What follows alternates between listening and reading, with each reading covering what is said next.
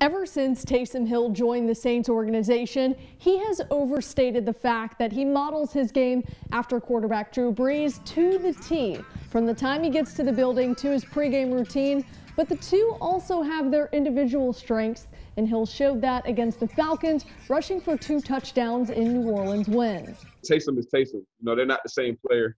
And if I was Taysom, I wouldn't put as much pressure behind myself to, you know, try to do everything exactly like Drew you know, there's things that I noticed that he does different from Judah. I'm like, okay, that's cool. Like, you know, it's it's cool to have a different feel, and it's cool to have somebody in there that's, you know, doing them. He's a threat running the ball, so it's almost like you got to spy him. You got to basically have one of your guys on defense account be accountable for for Taysom and every look because you know there's a there's also always a chance that he'll take off. While Hill has proved he can run the football effectively, he said he is still a pass first quarterback. Was I step up in the pocket. My idea is to keep my eyes downfield. And look, I had an opportunity to learn from from Aaron, who I think has has done some of the best scramble and you know make big plays happen because he's athletic enough to get outside the pocket. And so my rule is keep your eyes downfield.